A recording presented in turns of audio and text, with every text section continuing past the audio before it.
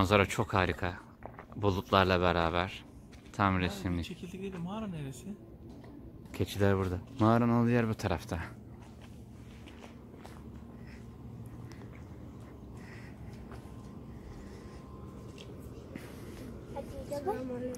Aleykümselam. Ya evlat.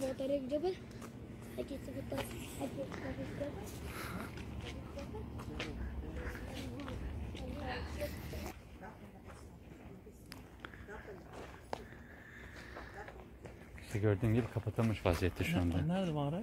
Şurası. Şöyle göstereyim. Şurası var ya. Şurası mağaranın olduğu yer. Ha. Biz normalde şuradan gelirdik. Şuradan gelir yürüyerek oraya çıkardık. O ta o yukarıda. Hı hı. Şu üst kademe mi? Bize bakan tarafı değil ön tarafta. Ha. Biraz daha sağ tarafta kalıyor.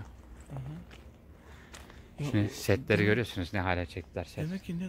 Böyle, abi ya buraya getirmek bile bir zor yani. Peygamberimiz böyle onlar da takip etmesi de böyle zor buraya getiriyor değil mi? Çıkış alanı bir de müsaitlik olarak burası var. Fatıma annemiz onu burada tedavi ediyor.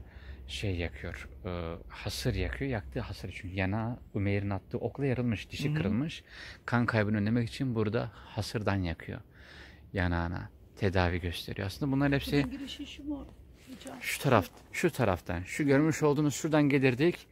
Şu bakınız beyaz bir boya var ya. Evet, evet. Evet, işte. O beyaz, beyaz boyanın boya. diğer tarafı. Oradan çıkıyoruz. Evet. Arkası yani. Hı hı, arkası. Bu- Bera nerede? Burada beyaz da burada. Orada değil mi? Uhud Savaşı'nda, Uhud Savaşı'nda Peygamber Efendimiz gelip böyle boy- beyaz bir çizgi bir şey var şurada. Onu- Çok ilginç. Yani oraya hakikaten çıkmak o bir başka bir duyguydu orası için.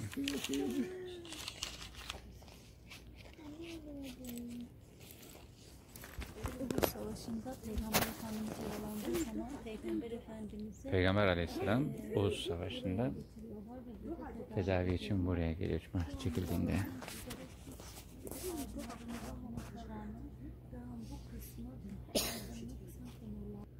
Özellikle ayın yansımasına bakın bulutun orada nasıl da parlıyor. Bir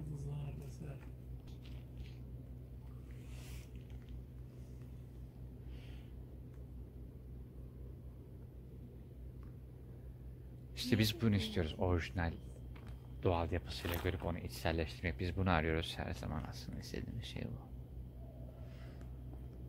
Çünkü beton dökmek işe yaramadı. O yüzden.